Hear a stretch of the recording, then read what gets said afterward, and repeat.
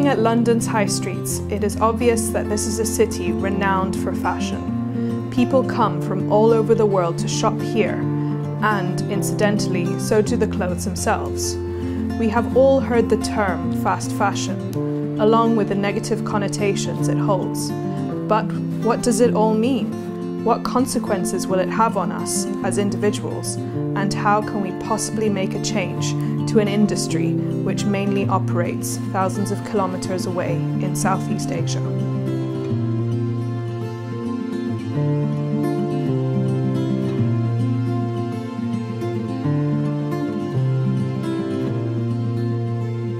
These are all questions I had been asking myself. I had felt so powerless when it came to tackling issues of the clothing industry that it was only when reading John Thackara's A Whole New Cloth that I heard about Rebecca Burgess and the first fibre shed in Northern California.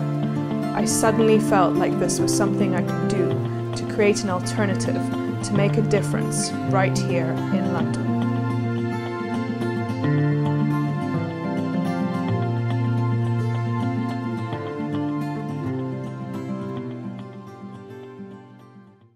A fibre shed is a geographical region where textile cloth is grown, spun and dyed naturally within a specific bioregion.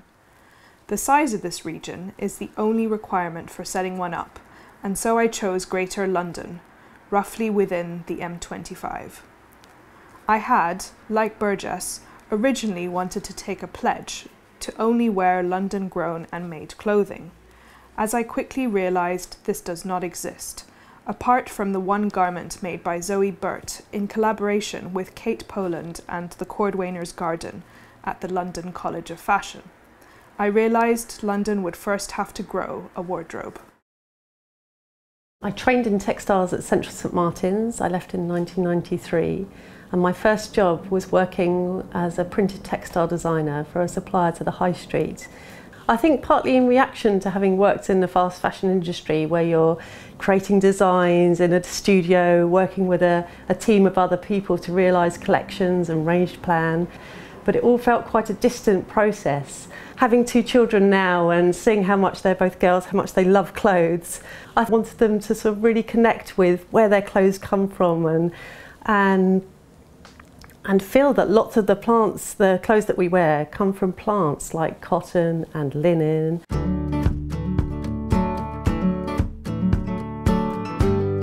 I'm Kate Poland and I set up Cordwainers Garden here a few years ago, which is in the grounds of the London College of Fashion in Hackney.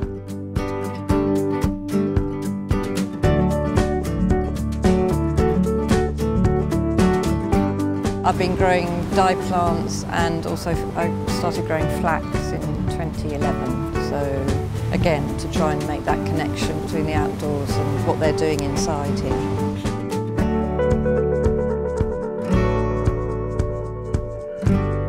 We managed to get some schools involved in the, the flax project, as well as sort of other community gardens, but then and actually doing the process of breaking and, and turning it into thread. But they were really engaged with it, especially you know there's quite there's quite tedious a lot of it, but they really like doing the bashing and the and the. Um, we taught them the words that you know the old words like heckle, scutch, ripple, ret, all these things. I mean it was quite chaotic, but they they really, I think what, what was telling was that when we went back with the garment that we'd then knitted, they remembered all those funny words and they could, you know, they wanted to touch it and smell it.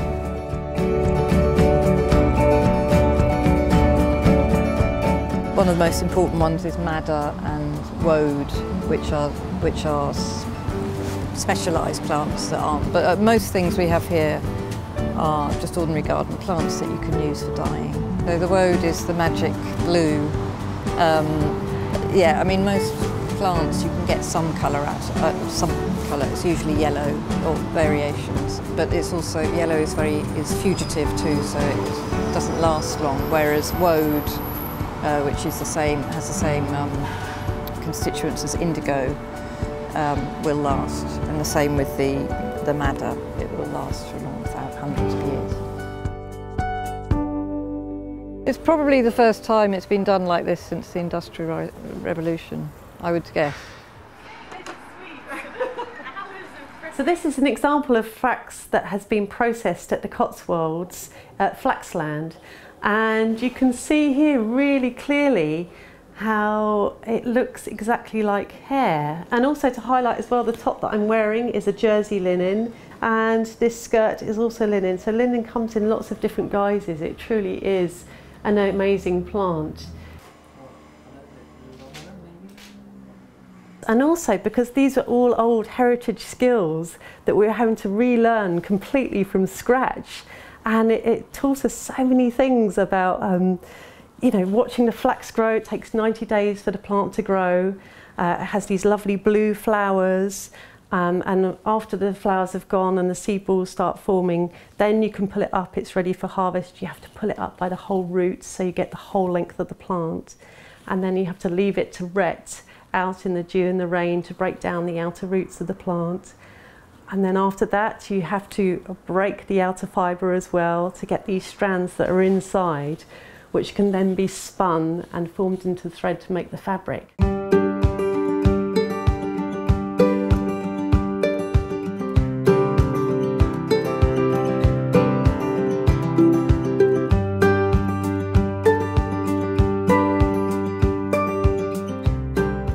This one here is actually just with onion skins.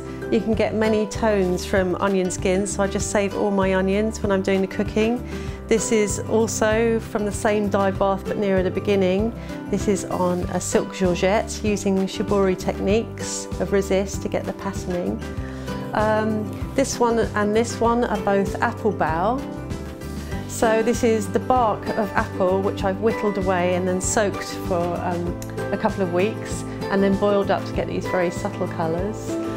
So these are a selection of colours. This is a working palette made from natural dyes using fruits and berries. So this one here is made from avocado pips. It's a really soft pinky tan colour. Then there's mahonia berries here, which you see growing around in lots of gardens. Um, and the berries there create a lovely bluish grey colour, which when modified with iron also turn it a greeny grey colour. There's fresh blackberries, you get this delicious pale purple colour. Um, and then using fruit teas as well, raspberry teas and blackcurrant teas to get a whole range of colours. What you notice with the natural colours is how harmoniously they all sit together as well.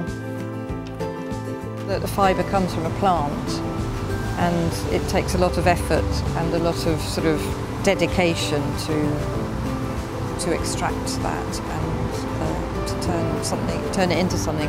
So I mean, there will be, there is a group of children here who understand the sort of labour involved in making clothing. So hopefully, some of them will, some of them will take care of their clothes more and not just rush off to Primark.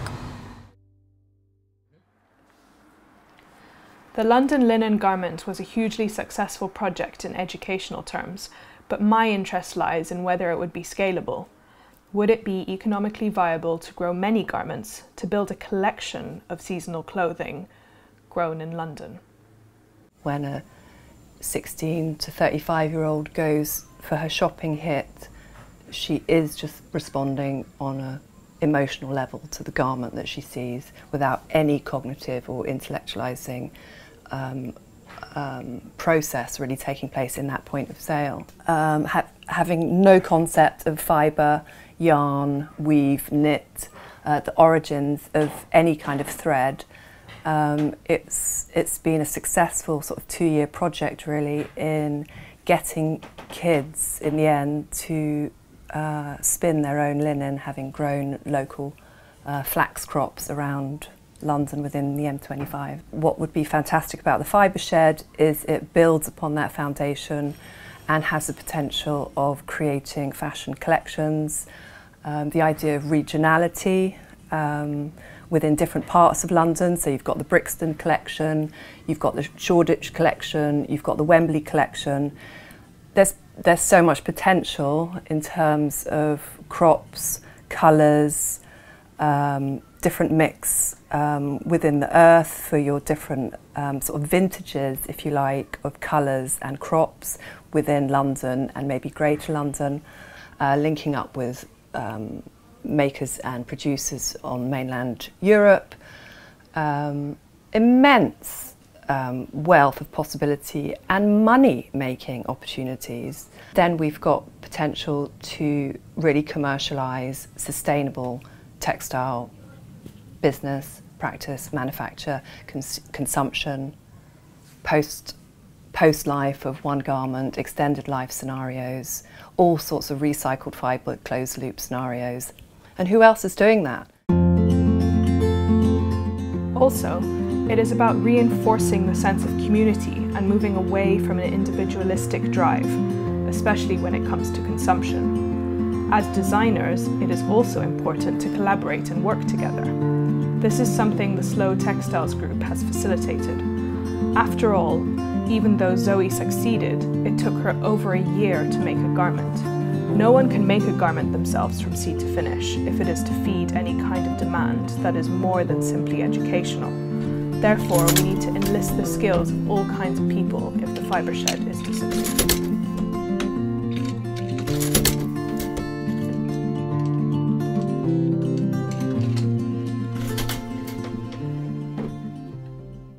Would be lovely to see this project go forward and become, as well as educational, um, economically viable as well and help people reconnect with the where their clothes come from and you know help create a, a UK fashion grown industry as well and that also showed you can do much more by investing and collaborating with other people than you can on your own. I think it's a, a natural growing trend to want to know about the provenance of things. You've seen it happened in the food industry very much, uh, slow food movement, and I think that it's been happening in fashion and textiles, maybe with quite a small group, but it'd be lovely to create a, a kind of bigger consciousness and awareness of that throughout the country and help people get back in touch with where their clothes come from and care about where they're made, care about the who the people the people who made them, that they are getting a, a fair wage and a fair deal, they're not being affected by the pesticides or insecticides that are grown. And we live in this life where it's, we all know it's not just about money, it's about social currency, community currency, educational currency. There's so many different forms of energy. Money is currency, it is an energy, but there are many other aspects as well.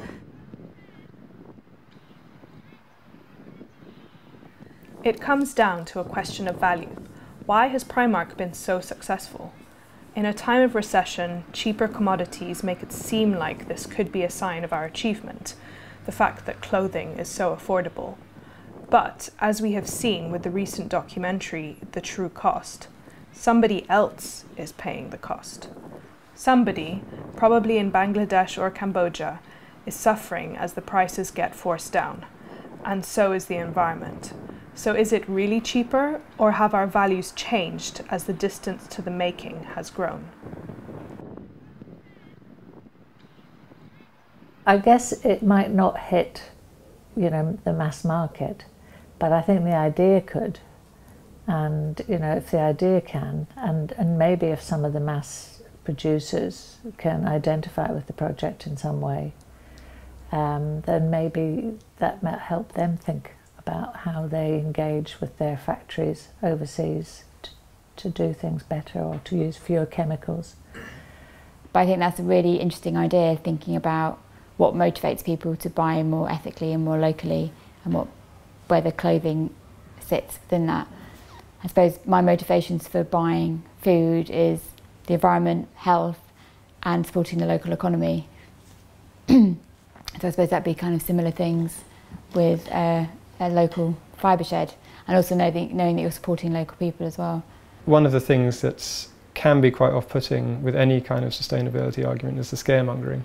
So um, in general, it seems to be presumed that in order to mobilise people and get them to do things differently, you have to put things in the worst possible terms. And I think that all that does is really polarise the debate and make it actually less likely to bring in perhaps marginal people. Whereas if it's more of a a positive outlook, just stating the great benefits of doing things in a sustainable way, whether it's how you source your fibres or where the clothes are made or um, something in line with kind of fair trade terms for fabrication and workmanship. I think that could be really beneficial. In the press, it's all about uh, food. It's about the impact of food, and there's a lot of debates going, and also how well farmers are paid for milk and so forth. But there's not much in the press about the textile industry. I do know, I did read an article once about uh, saying that King Cotton had um, wiped out the hemp industry, um, whereas hemp is you know easier to grow, more environmentally friendly, but because of association with cannabis, it's obviously restricted. Um, so certainly, if I saw some clothing in a shop made of hemp over cotton, I'd definitely go for that. Cotton is um, very heavy, can be very heavy on water uh, use and pesticide use as well. And it is a commodity that's bought and sold on the stock market as well, which you don't have for flax or other commodities. Um, and I find that really interesting as well, how that has affected, how that has become the predominant crop for textiles and fashion in our world. And it does seem, again, out of balance. I think there's much more room for other, other plants such as flax and hemp to come back and be of more use to everybody.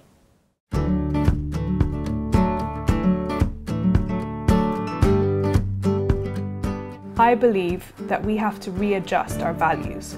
I'm not saying that a London fibre shed wardrobe would replace current systems of commerce within fashion, but with each piece bought would come a story, a connection to a sheep, farmer, a maker, and hopefully this could help to realign the values we have assigned to clothing. It's about thinking in different currencies, not just in terms of money.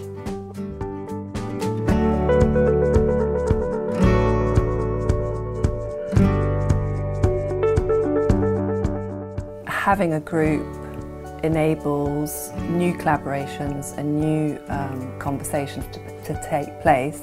I think Fibershed is another example of group-based work, um, including lots of different uh, producers, suppliers, uh, manufacturers, growers, visionaries, um, and, and a platform and a visibility. So again, it's it's this idea of just groups rippling out and supporting each other and creating new enterprise, new ideas, new hybrids, new versions of what textiles is. Both my passion and background are in woven textiles. I have never had a studio or worked on a proper loom since leaving Goldsmiths. We visited Bonnie the Weaver to see how her business works to my surprise, she does not make small batches of cloth as I envisioned. Instead, she designs and weaves samples, which she then sells to fashion and interior houses at trade fairs, complete with the rights to the design and how to construct it.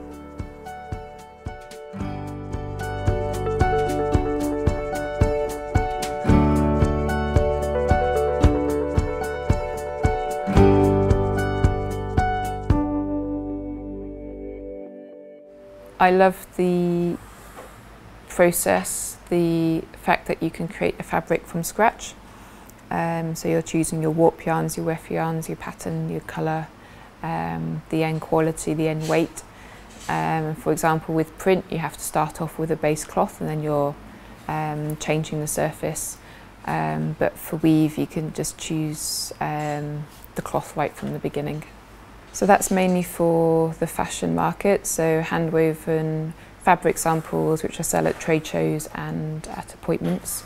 I consult and design their collections um, and they're selling those collections to the UK, um, Europe and the States and um, so that's um, designing the whole collection, looking at all the trends, new colours um, and then providing them with the designs and the CAD files for them then to um, produce in their mills. I haven't been asked whether it's been naturally dyed, but if I have to provide the technical um, specification with a sample that I've sold, then I can detail down where I bought the yarns. Quite often they don't actually ask what the fabric's made from. Um, it could be just the look and the, the feel. When they're walking past the stand at um, Premier Vision, it's, it goes on the, the look of the fabric rather than what it's made from or the handle of it. Mm -hmm. And then that will come second. I'm always interested in working in collaborative um, on various different projects, um, whether I can help with the, the dyeing of the yarns or sampling new patterns and new techniques on the looms I have at the moment. Um, and then maybe working with someone on the technical side to get the, the fabric woven.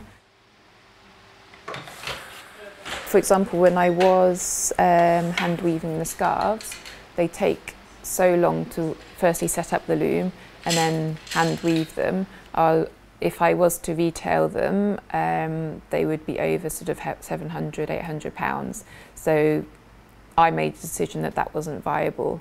I don't think necessarily that a lot of the customers understand how labour intensive or technical it is. It's more about the appearance of the fabric and uh, the performance of it. Most clothes seem to be not made in England, so if you check, it's just the same message again and again. But it's always a pleasant surprise when you find something that is actually made even in Europe. The issue is quite often that I'm that I feel so detached from the companies that I'm that I feel like I don't know much about it anyway, so why should I care? But for example, if you tell me, oh, I made this piece, I would be actually really interested in buying it because I know that you made it and you can tell me. It's more like the story about the piece, I think, is really important to me. I'm very particular actually about what things are made of. Um, I do tend to avoid synthetics as, as much as possible. Things that are important to me is that things are going to last. I don't like throwaway fashion. If I find something that I like, I want to keep it. I don't want it to wear out. I just find it's, it's much more agreeable wearing natural materials. Um, they tend not to get smelly, they tend to last better. Um, on the whole, they're much nicer to wear. I think in terms of the um, shift between in attitudes, maybe between my age group and younger people, there possibly because some clothes are so incredibly cheap that uh, young people just think I can wear it once and I don't, I can throw it away and I don't need to think about where this has come from, how it's been produced, which I per personally feel quite strongly about. I don't know, Zara or Primark, it's, I always feel like it comes from the same factory and I don't really trust them, trust them. So if someone tells me that is really from a good place, it's made in the UK or in Germany, I don't know, um, and I can really trust them, then I think I would spend a bit more on on the clothes. Yeah. The good thing about working with somebody locally, of course, is that you can get something that's made just for you, especially if they're a small-scale fabricator and they can work that into their timescales. I think if this draws attention to exactly what goes into making things and you know all the, the different um, techniques um, then I think it should be really helpful and help educate people as well uh, and make them feel more connected to what they're wearing.